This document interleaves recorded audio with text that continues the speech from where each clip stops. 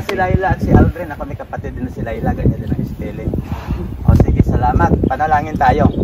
O Panginoong Diyos, maraming salamat.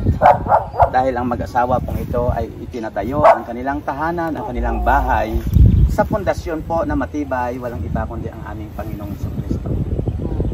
Ngayon, Panginoong Diyos, personally bilang pastor at kasama ni Janjan at ni Yunis, nagpo-pronounce po kami ng blessing po Yes, sa mag-asawa sa pangalan ng Panginoon sa Kristo.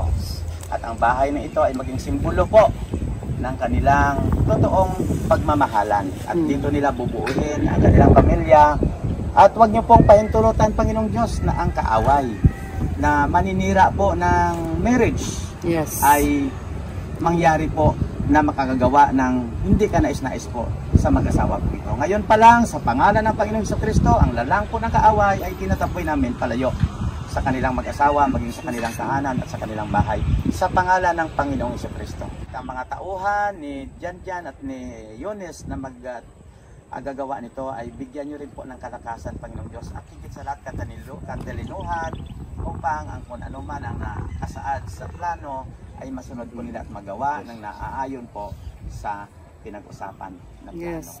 Muli, Panginoong Diyos, pagpapala po sa mag-asawa pong ito at pagpapala sa kanilang tahanan na bubuhin sa Mm. pangalan ng Panginoong Hesus Kristo, ito pong aming hinihiling. Amen. Amen. Amen. Amen. Amen. So, Amen.